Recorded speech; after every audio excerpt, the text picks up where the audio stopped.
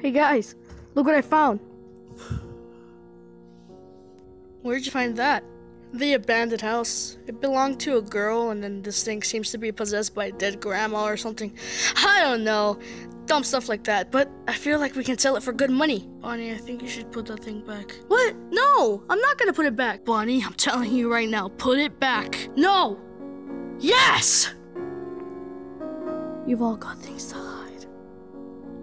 Bad secrets. Bad memories. And our inner demons.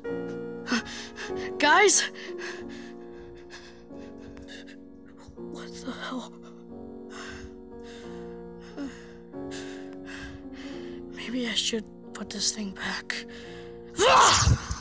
Everyone, get out the house!